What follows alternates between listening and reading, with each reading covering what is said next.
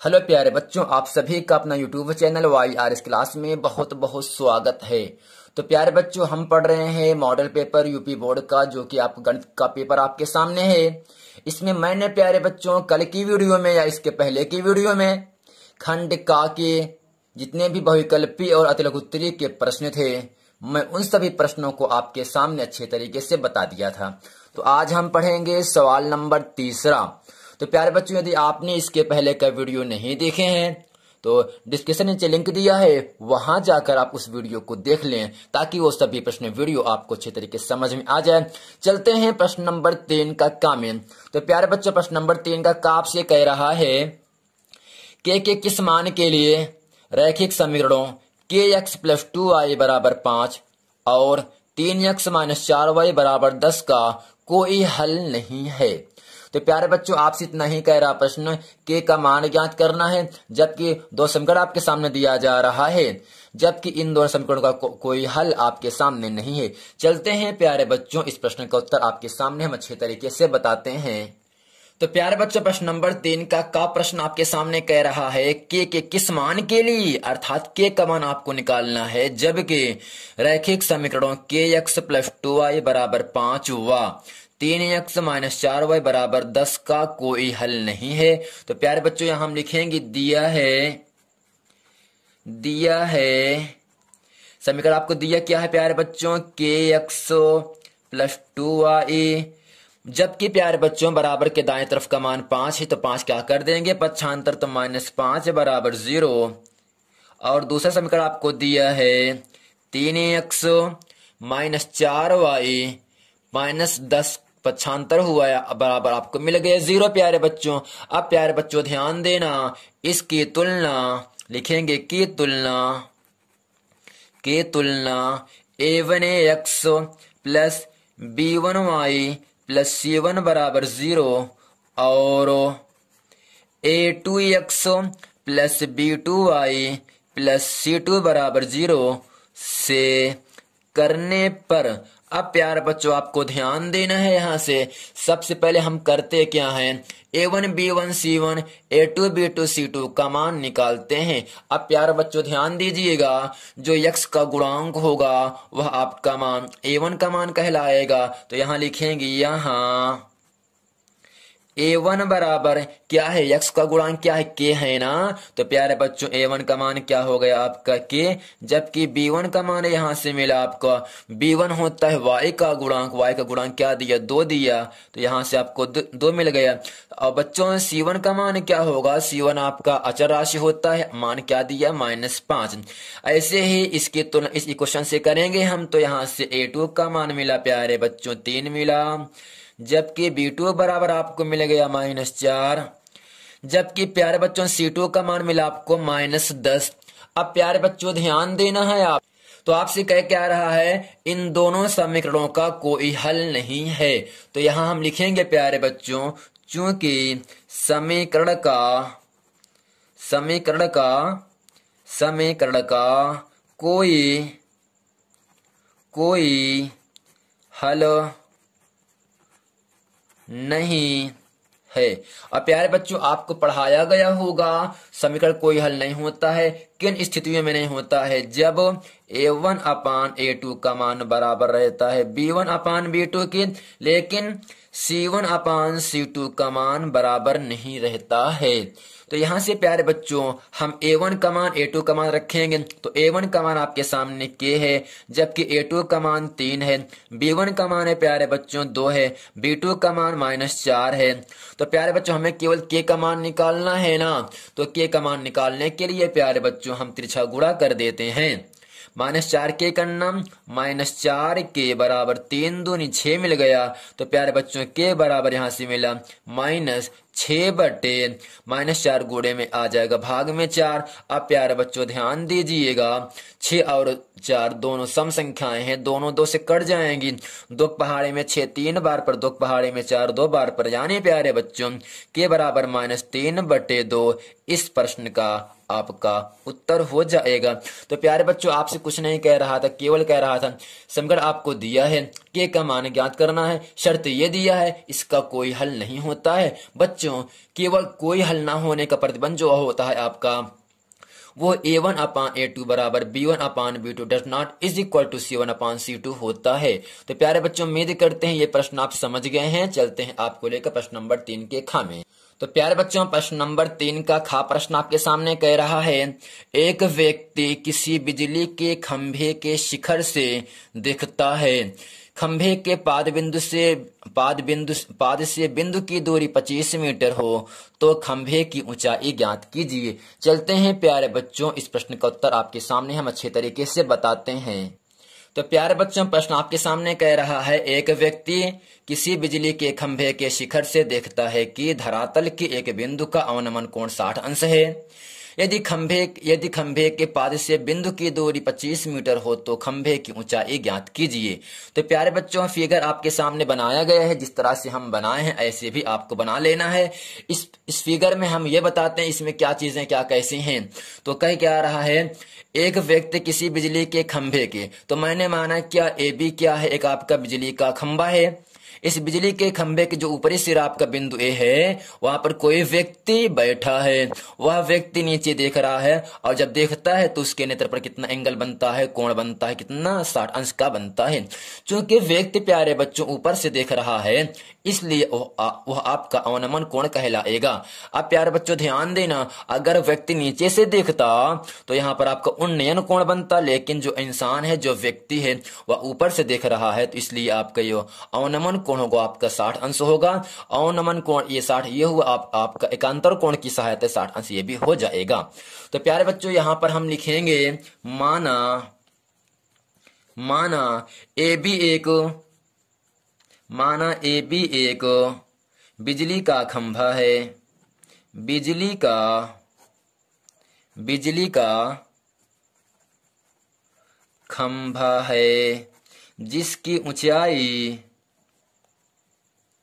जिसकी ऊंचाई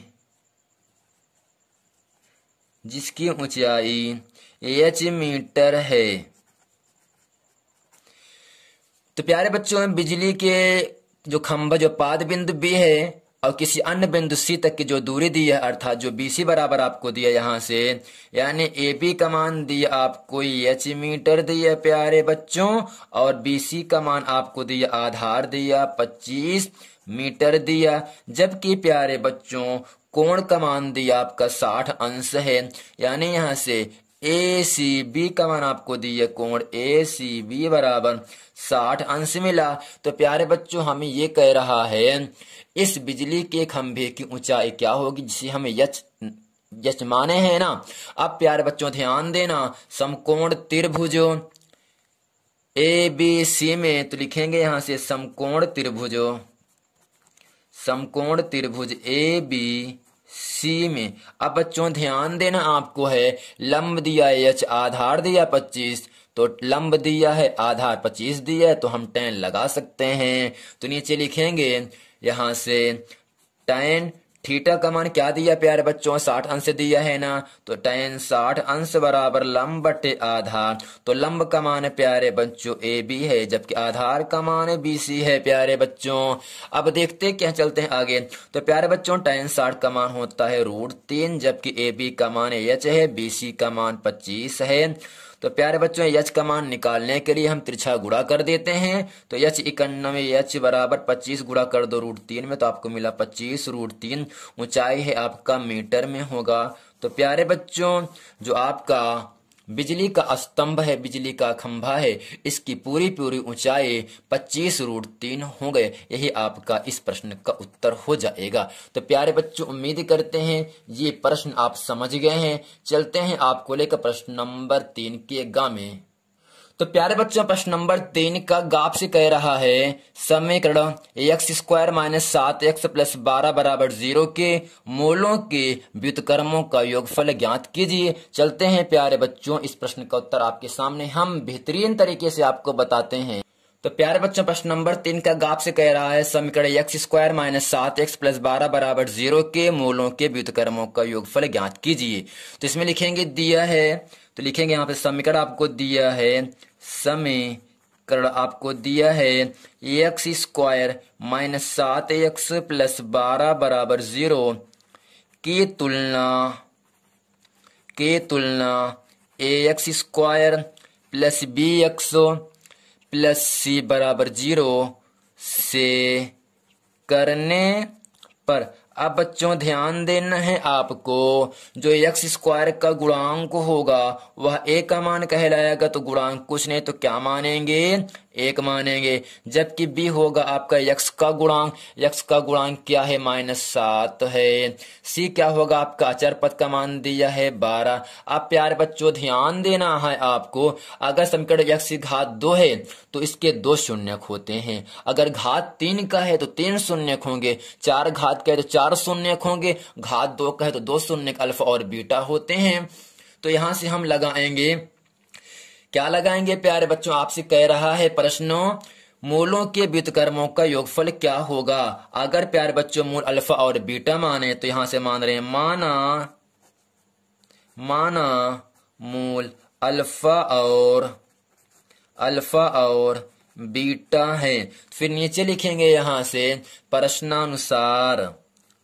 यानी प्रश्न क्या कह रहा है? प्रश्न ये कह रहा है, मूलों मूलों के व्युतक्रम अब बच्चा मूल क्या है? अल्फ़ा है ना। अल्फ़ा का व्युतक्रम वन अपान अल्फ़ा। बच्चा दूसरा मूल बीटा है। बीटा का व्युतक्रम वन अपान बीटा। यानी मूलों को व्युतक्रम को मैंने कर दिया। अब कह रहा है यहाँ से योग फल तो बीच में कर देंगे प्लस का निशान। है ना है ना प्यारे बच्चों? अब करते क्या है? अल्फ़ा, बीटा का हम एलसीएम ले लेंगे। तो अल्फ़ा से अल्फ़ा कटा, बचा बीटा। बीटा को यहाँ लिखा प्लस बीटा से बीटा कट गया बचा अल्फ़ा अल्फ़ा गुड़ा कर दो एक में, अल्फ़ा इकन्नम अल्फ़ा मिल गया प्यारे बच्चों। अब प्यारे बच्चों ध्यान देना है, जो मूलों का योगफल होगा, उसका फार्मूला होता है माइनस बी अपान ए, और गुणनफल का फार्मूला होता है सी अपान ए। अब प्यार बच्चों ध्यान देना है आपको यहाँ से, माइनस बी का मान आपके सामने कितना है? माइनस सात है। जबकि ए का मान कितना है एक। जब अब प्यारे बच्चों, सी है नीचे ना तो सी का मान कितना है बारह बटे। तो ए का मान कितना प्यारे बच्चों, एक है ना। तो माइनस माइनस प्लस हो जाएगा प्यारे बच्चों। तो ये मिला आपको माइनस प्लस सात बटे एक। एक कर दिया ऊपर बारह आ गए नीचे तो प्यारे बच्चों, सात इकन्नम सात बटे बारह। यही सात बटे बारह इस प्रश्न का उत्तर हो जाएगा। तो प्यारे बच्चों, उम्मीद करते हैं प्रश्न नंबर तीन का प्रश्न नंबर गा। आप समझ गए हैं। चलते हैं आपको लेकर प्रश्न नंबर तीन के घा में। तो प्यारे बच्चों, प्रश्न नंबर तीन का घा प्रश्न आपके सामने कह रहा है, क्या बिंदु ए तीन कामा दो, कामा बी माइनस दो, कामा माइनस तीन, तथा सी, दो कामा तीन, एक त्रिभुज बनाते हैं। यदि हाँ तो इस तो इस प्रकार बने त्रिभुज का प्रकार ज्ञात कीजिए। तो चलते हैं, प्यारे बच्चों, इस प्रश्न का उत्तर आपके सामने हम अच्छे तरीके से बताते हैं। तो प्यारे बच्चे, जो निर्देशांक ए दिया है, बी दिया है, सी दिया है, ये तीनों निर्देशांक एक त्रिभुज का निर्माण कर रहे हैं। तो मैंने आपके सामने एक खूबसूरत सा ए, बी, सी क्या बनाया? एक आपका त्रिभुज बना दिया ए का निर्देशांक तीन का मान दो दिया है, बी का मान माइनस दो का माइनस तीन दिया है, और सी का निर्देशांक आपके सामने दो का मान तीन दिया है। तो प्यारे बच्चों, त्रिभुज का प्रकार ज्ञात करने के लिए हम निकालते हैं ए, बी के बीच की दूरी का मान कितना है। तो यहाँ से लिखेंगे ए लिखेंगे ए का मान कितना दिया है? तीन कामा दो दिया है। और बी बी आपके सामने है। तीन कामा दो है। यानी प्यारे बच्चों, माइनस दो कामा माइनस तीन है। माइनस दो कामा माइनस तीन है। अब प्यारे बच्चे बताओ तो हम निकालते क्या है? ए और बी के बीच की दूरी निकालते हैं। क्योंकि आपको मैंने इसके पहले की वीडियो में बता दिया था, ए और बी के बीच की दूरी का सूत्र होता है। X one minus X two का whole square plus Y one minus Y two का होल स्क्वायर आपको क्लास में पढ़ाया गया होगा। तो यहाँ से प्यारे बच्चों, ए बी बराबर, अब प्यारे बच्चों ध्यान देना है आपको, यक्स वन का मान तीन, वाई वन का मान दो एक्स टू का मान माइनस दो, वाई टू का मान माइनस तीन मिला प्यारे बच्चों। कितना मिल गया? वाई वाई टू का मान माइनस तीन। यानी एक्स वन का मान तीन, वाई वन का मान दो एक्स टू का मान माइनस दो, वाई टू का मान माइनस तीन। अब इसी में हम मान रखते हैं तो यक्स वन का मान तीन है प्यारे बच्चों, माइनस यक्स टू का मान आपके सामने माइनस दो, माइनस ये माइनस ये प्लस हो जाएगा, पूरे का होल स्क्वायर, वाई वन का मान दो है, माइनस माइनस प्लस हुआ, वाई टू का मान तीन है, पूरे का होल स्क्वायर लगा दिया प्यारे बच्चों। अब प्यारे बच्चों, आपको ध्यान देना है यहाँ से तो ए बी बराबर तीन दो कितना होगा प्यारे बच्चों? पाँच पाँच का स्क्वायर तीन दो पाँच पाँच का स्क्वायर तो ए बी बराबर प्यारे बच्चों। तो पाँच का वर्ग पच्चीस और पाँच का वर्ग क्या होगा? पच्चीस, दोनों को हम जोड़ देंगे तो ए बी बराबर आपको मिल गया। पच्चीस पच्चीस आपको मिला पचास, आपको याद होगा? पचास का वर्गमूल क्या होगा प्यारे बच्चों? पाँच रूट टू होता है। तो दूरी का मात्रक क्या होगा यहाँ से? दूरी, ए बी, दूरी क्या होगा? इसका मात्रक मात्रक होगा यहाँ से। इसे हम इकाई भी लिख सकते हैं प्यारे बच्चों। अब ए बी का मान निकाले कितना आ गया? पाँच रूट दो आ गया ऐसे निकालेंगे हम बी सी। क्या निकालेंगे प्यारे बच्चों? B C. तो नीचे लिखेंगे बी और फिर लिखेंगे तीर का निशान, फिर सी लगाएँगे। तो सी का मान दो कामा तीन है और बी का मान माइनस दो कामा माइनस तीन है। तो X one, Y one X two, Y two मिला प्यारे बच्चों। तो बी सी का फार्मूला, यहाँ से वही फार्मूला आपके आपके सामने ही रहेगा। यहाँ से लिखेंगे X one minus X two का whole square plus Y one minus Y two का होल स्क्वायर प्यारे बच्चों। तो बी सी बराबर यहाँ से लिखेंगे। तो एक्स वन का मान आपके सामने माइनस दो माइनस एक्स टू का मान आपके सामने दो है। पूरे का होल स्क्वायर वाई वन का मान माइनस तीन माइनस वाई टू का मान तीन। तो प्यारे बच्चों, पूरे का होल स्क्वायर लगा। तो बी सी बराबर यहाँ से मिला प्यारे बच्चों। माइनस दो माइनस दो आपको मिलेगा। माइनस चार का स्क्वायर प्लस माइनस तीन माइनस तीन माइनस माइनस तीन तीन छह माइनस छह का स्क्वायर मिला तो बी सी बराबर प्यारे बच्चों यहाँ से मिला। माइनस चार का वर्ग प्लस सोलह हो जाएगा, और माइनस छह का वर्ग छत्तीस मिल गया। अब प्यारे बच्चों बताओ तो बी सी बराबर छत्तीस सोलह कितना हो गया प्यारे बच्चों? पचास होगा ना सॉरी कितना होगा? बावन हो जाएगा प्यारे बच्चों। अब प्यारे बच्चों ध्यान देना। तो प्यारे बच्चों जो आपका बीसी है बीसी का मान कितना आया? बावन बावन का वर्गमूल क्या होगा? दो रूट तेरह हो जाएगा। दो का वर्ग चार चार तेरह हम कितना होगा? तेरह चुके बावन होगा। यहाँ से मात्रक हो गया आपका। ठीक, अब निकालेंगे प्यारे बच्चों, इसके बाद हम निकालते हैं बीसी निकाल लाना। अब निकालेंगे यहाँ से हम निकालेंगे सी से लेकर ए तक के बीच की दूरी कितना है? फिर नीचे लिखेंगे यहाँ से ए सी बराबर ए आपके सामने है। फिर तीर का निशान फिर सी लिखेंगे यहाँ से। दो कामा तीन और ए आपका है तीन कामा दो है। तो X one Y one X two Y two. अब प्यार बच्चों, ध्यान देना तो नीचे लिखेंगे यहाँ से ए सी बराबर, बीच की दूरी का फार्मूला होगा। X one minus X two का whole square plus Y one minus Y two का होल स्क्वायर अब प्यार बच्चों, ध्यान देना है आपको। तो ए सी बराबर आपको मिला यहाँ से। यक्स वन का मान तीन यक्स टू का मान दो। तीन माइनस दो पूरे का whole square plus Y one Y one का मान दो माइनस वाई टू का मान तीन पूरे का होर स्क्वायर मिला। तो ए सी बराबर मिला प्यारे बच्चों। तीन में से दो घट के मिलेगा एक एक का स्क्वायर प्लस तीन से दो घट के आपके मिलेगा माइनस एक का स्क्वायर अब ए सी बराबर मिला। एक का वर्ग एक प्लस एक का वर्ग एक हुआ। तो ए सी बराबर आपको मिल गया यहाँ से रूट दो मात्रक यहाँ से मिला। तो अब प्यारे बच्चों तो प्यारे बच्चों, आपके सामने ए बी निकाला गया, कितना पाँच रूट दो आ गया बी सी का मान आपके सामने दो रूट तेरह आ गया, और आपके सामने सी ए कहो या ए सी कहो, आपके सामने रूट दो आ गया। अब प्यारे बच्चों, ये कह रहा है, ये जो बीच की दूरी आया है, ये त्रिभुज कैसा है यानी जो ए बी सी है, ये त्रिभुज किस प्रकार का त्रिभुज है? तो प्यारे बच्चों, आपको पढ़ाया गया होगा, पाइथागोरस का पर में फार्मूला होता है यहाँ से कड़ का स्क्वायर बराबर, लंब का स्क्वायर प्लस आधार का स्क्वायर तो नीचे लिख देंगे यहाँ से, पाइथागोरस के पाइथागोरस के सूत्र से।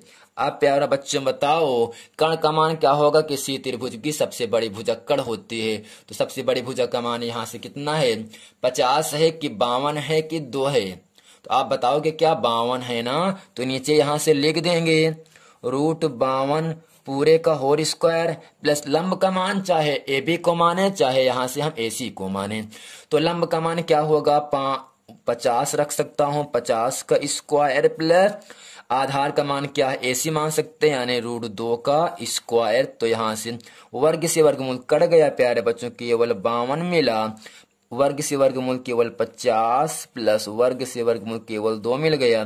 तो बावन बराबर पचास, दो बावन अब प्यारे बच्चों बताओ, पाइथागोरस परमे में कण का स्क्वायर बराबर शेष अन्य दो दो भुजाओं के वर्गों के योगफल के बराबर होता है। यानी पाइथागोरस ने क्या बतलाया?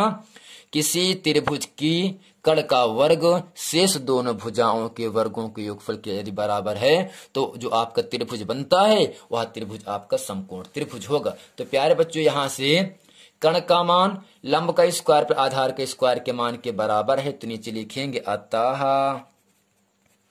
A B C A B C एक समकोण त्रिभुज है। तो क्या लिखेंगे प्यारे बच्चों? अतः ए कामा बी कामा सी एक समकोण त्रिभुज है। यही आपका आंसर हो गया।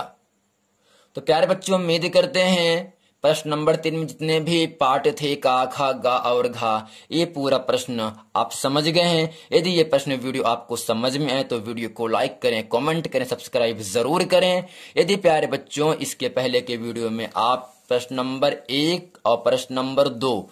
नहीं पढ़े तो नहीं पढ़े थे तो नीचे आपको लिंक दिया है। वहाँ जाकर आप उस वीडियो को देख लें ताकि वो सभी प्रश्न वीडियो आपको अच्छे तरीके समझ में आ जाए। तो प्यारे बच्चों इसके इसके बाद की वीडियो में हम बताएँगे प्रश्न नंबर चार, जो प्रश्न नंबर चार में जितने भी खंड हैं, उन सभी प्रश्नों को हम इसके बाद की वीडियो में हम बताएँगे। तो प्यारे बच्चों, उम्मीद करते हैं ये पूरा प्रश्न वीडियो आपको समझ में आया तो वीडियो को लाइक करें, शेयर करें, ताकि आने वाला वीडियो आप तक आसानी से मिलता रहे। मिलते हैं अगले वीडियो में, तब तक के लिए थैंक यू।